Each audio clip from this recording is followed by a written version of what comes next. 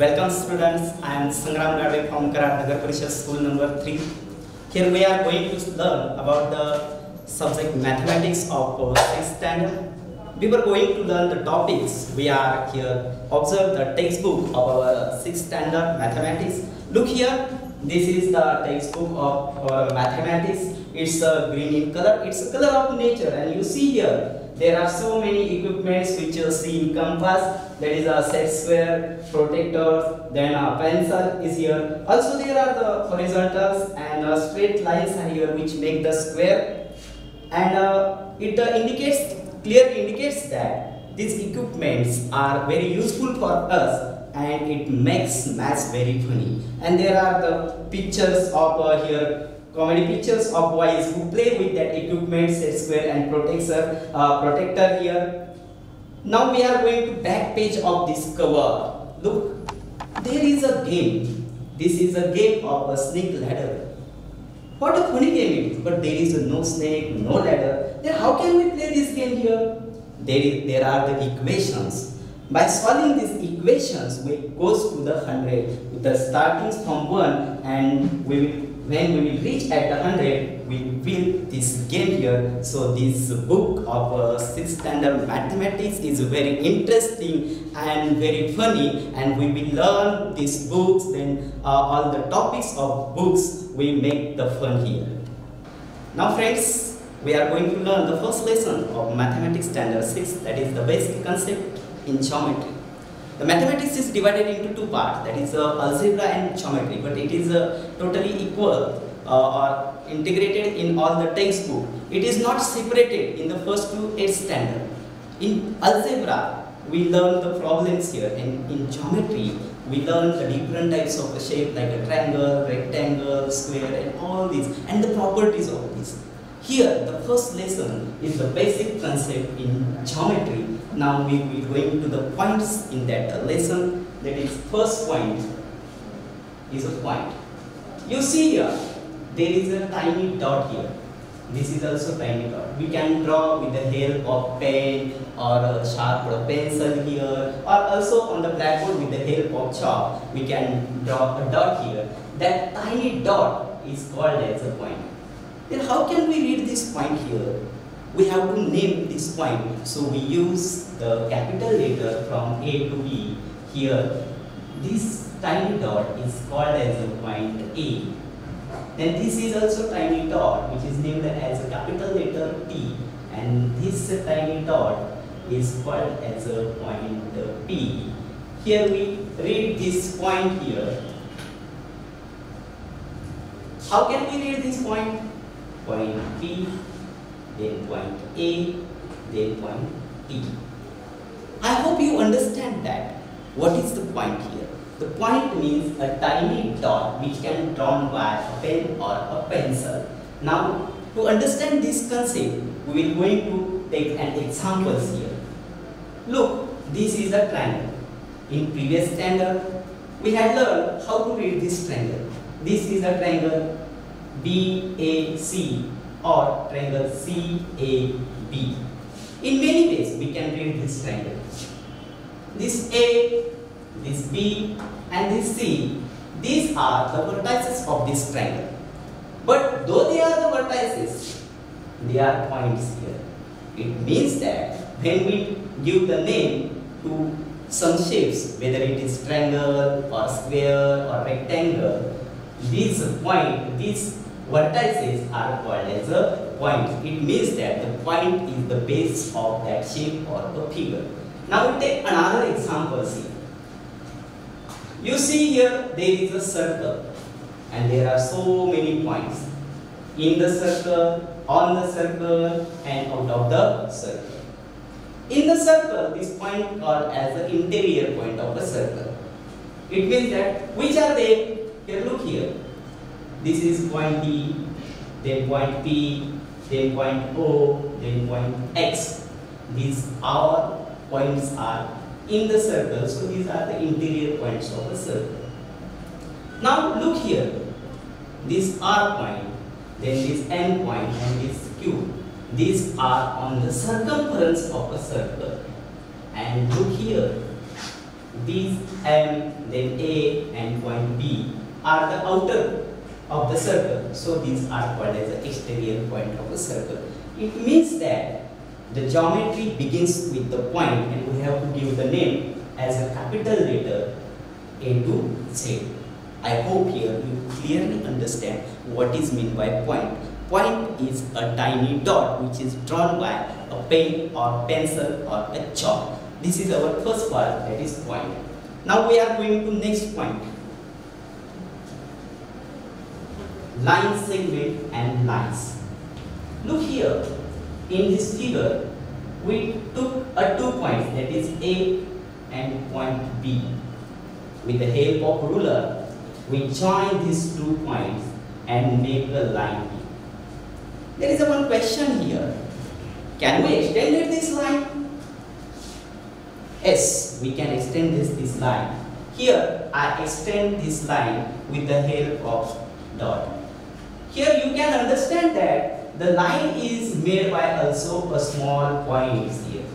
It means that the point is the base of shape here. Here, at the point of A, we extended this line. At the point of B, we extended this line. There is no limit to extend this line here. What is limit? The limit of a surface. Whatever the surface of our notebook, then surface of blackboard, we have a limit of that surface, but we have no limit to how far we can draw a line here. It means that line segment and line, we have to, there is something difference in line segment and line, we have to find out it. Now we are going to next figure here. Look here. At the first figure, there are only line from A to B. And next figure, we extended line from A and from B towards opposite direction. But there is a change. I draw here an arrowheads at the both side of this line. That arrowhead indicates that this line cannot any limits here. It means that we extend this line to surface or edges of that piece of that paper or blackboard. Here, look here. I draw here another line here. The P and Q. Also here I give the name small a. You confuse here? We use the small letter here. I will tell about after it. Okay. Now first come here. That is in the first figure AB only line drawn from point A to B. It means that this is a part of a line. That part of a line is called as a line segment. It means that the line is broken here from A to B. We cannot extend that line from A to B. And when we extended this line, then it is called as a line. Clearly understand what is the difference between line segment and line? Line segment means it's a piece of line that is broken here from one point to another point.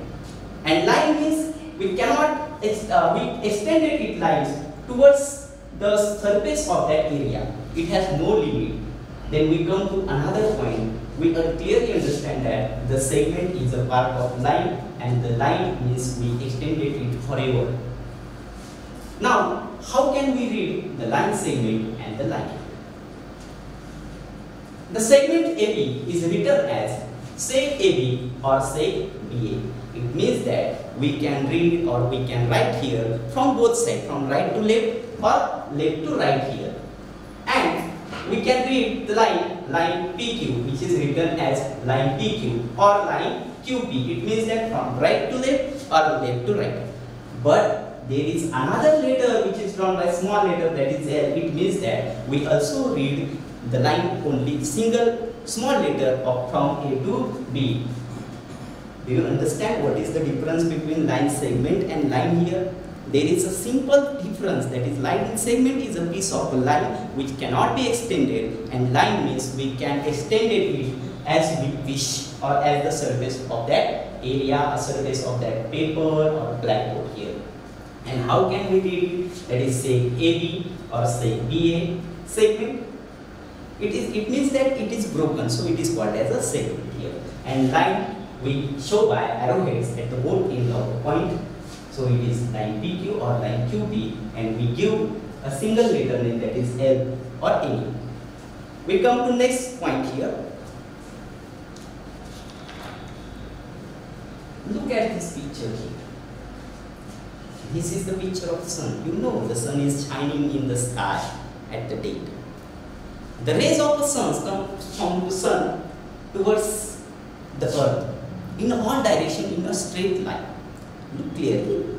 They comes towards the earth in all direction. This shows that the sun rays comes towards in all direction in a straight line. Line, the line concept is a straight line. Line is always straight. So this sun rays comes towards earth in a straight line. Now look at the another picture. This is the picture of a torch here. We use the torch at the night when there is a darkness. The rays starting from the torch and goes continuously in only one direction and in a straight line. That is the difference between the sun rays and the rays starting from the torch here. It goes from same direction. Then the next point that is rays. What we call the rays? Rays means the line, it is the part of a line which started from one point and goes in a straight line continuously. Here there is also arrow. Student, I told you what arrow indicates? Arrow indicates that there is no limit. It means that rays go forward and forward and forward continuously only as the limit to the edges of that page or blackboard this ray started from P and goes towards. So how can we read the rays here? We read the rays from ray P Q. Okay, not from Q to P. In line we read that is PQ or line QP, but in rays we cannot read that is QP. Why? Because the ray starting from this point so this point is called as a origin where the rays started. So we have to read this rays that is ray PQ and it goes forward and forward and forward in a straight line.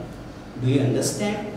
With the help of torch you can also understand the how can rays go forward and forward in a straight line here. Student, there are some activities here. We learn the points then a segment, line, and then rays here. Look here, there are so many lines which is drawn by dotted here. And this is a point. Here P is a point. Now the activity is that you have to draw a lines that passes through that point P. How many lines we can be drawn here? There is no limits we can draw so many lines. It means that so many in mathematical language it is called as a infinite. Infinite, it has no limit. It means that we can draw so many or infinite, infinite lines which passes through a single point. So, we have to give that name to such types of a line and such types of a point here. An infinite number of lines can be drawn through one point. I show that in figure. And such lines, when two or more lines that pass through the same point, they are called as a concurrent lines. It means that the lines more than two are so many lines which goes from a single point. That lines are called as a concurrent lines. Do you understand what is meant by concurrent line here? You have to look the figure here these are the concurrent line here. It means that these, these lines, all these lines that passes through this single point. So all these lines are a concurrent line and this point have also name. That point is called as a point of a concurrence. It means that the common point through which the line passes is called as a point of a concurrence. In this figure we see here so many lines or infinite lines goes to that point P. So this point is called as a point of concurrence. Student, do you understand both two points here? We had learned the two points that is concurrent line and point of concurrence clearly indicate here. I hope you understand. I uh, told again you that is the lines which passes through a single point that lines are called as a concurrent line and that point from which the, all these lines are passes that point is called as a point of concurrence. Next point here. Look here. There are nine dots in this picture here. Also you uh, when at the night you see the stars in the sky, they are looking in this way. These are nine points here. If you observe clearly, we can draw here line from a two points. When we draw, we take uh, two points here. We can draw a single line into two points. Now look at the blackboard here. Now I took here a two points. First that is point A and another point that is point now with the help of ruler, I can draw a line here that passes through this two point. It is named as line AB. How many lines we can draw here that passes through two points? I take another example here. Now I took here another point that is C. Now I draw a line that passes through point A and C.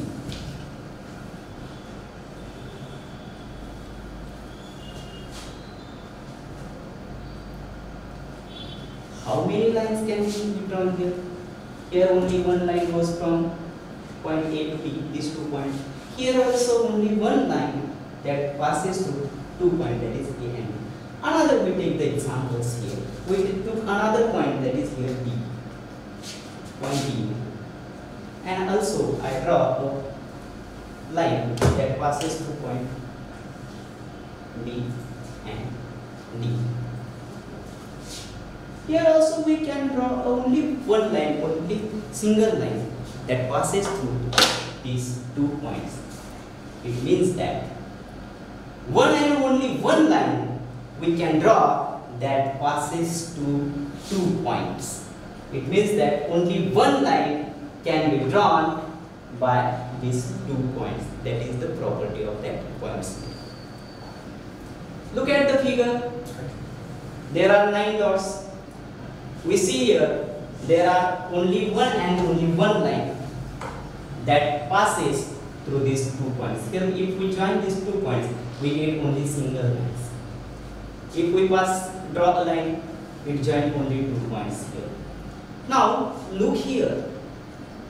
This point, this point, this and this point. If we draw a line here, then all these points lie on a single line. Now look at the figure, next figure here. Look here.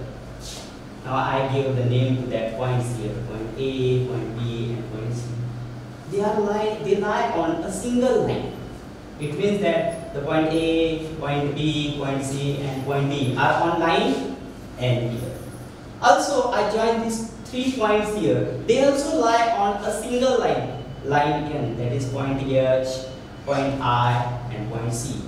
But there is a two points, that is point F and G, which are only a single line. And it means that one and only one line that passes through any two points. Now look here, there are four points that lie, lie on a one line or a single line. These points have also name. Now these points are called as a collinear points. It means that the points which lie on a single line are called as a collinear points. Now we go to figure. These points are not uh, are not lie on this line. This is separated F and G are not lie on this line. So the points which not, do not lie on a single line are called as a non-collinear points. Now we go to the definition that is two points here, collinear points and non-collinear points. Collinear points and non-collinear points. Here I say that one and only one line can drawn through any two distinct point here. Then three or more points which lie on a single straight line are said to be collinear points. And the points which do not lie on the same line are called as a non-collinear points. Do you understand collinear points and non-collinear points? Collinear points mean that points which lie on a single straight line and non-collinear points which does not lie, lie on that line are called as a non-collinear points. Next, planes. Look here, this is a picture of table this is the blackboard, this is the cylinder. Now observe the surface of that table, surface of that blackboard and the surface of cylinder. If we observe the surface of table, it is a flat surface. The surface of blackboard, also flat. The surface of our slate, it is also flat. Now look at this surface here. The surface of a cylinder, it is a curved surface. Now what is mean by plane? Now we are going to the definition of plane. The flat surface is called as a plane. Flat surface. Look here. This is the surface of table here drawn. And how can we read it? We use the capital letter from, from A to Z, that is H. Here also there is arrow. You understand that what the arrow indicate? I told before the line segment and line that arrow indicates that we extend it. It has no limit. In such way that plane it has no limit. We can extend it in all direction. So it is written as a plane H. The plane is the sim uh, simple figure that is it's a surface of any things. Not a surface, it's a flat surface flat surface is called as a plane. Do you understand plane? You understand plane means aeroplane? No, it is, it's a not an aeroplane, it's a figure of geometry. It is called as a plane here. Now we go to next point. Parallel lines. Here the picture of our notebook. There are so many lines. If we extended this line, they goes forward and forward. Can they meet each other? No, if we extended it, they will just go straight and straight. Why? Because the distance between two lines remains the same. They will not meet each other. Such types of lines are called as a parallel lines. It means the line which goes forward they will not meet each other. Uh, thus, uh, these lines are called as a parallel lines. We goes to the definition of parallel lines. The lines which lie in a same plane, that is the picture of notebook, that is a plane surface, but do not intersect each other. Intersect it means that not meet, meet each other, not cross each other. It is in mathematical language, it is called as a intersect. But do not intersect each other are said to be parallel lines. Means is goes forward and forward and forward, but they do not meet each other. Such lines are called as a parallel lines. Now students, here, what we understand in this topic, we are going to take our revision here, we are going to recall here.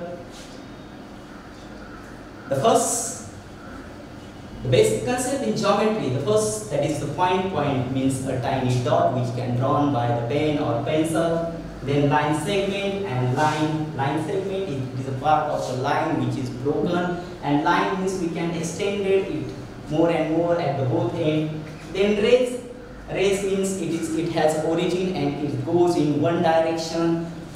Then concurrent lines, that the lines which passes through only a single point, these lines are called as concurrent line and that point is called as a point of concurrence.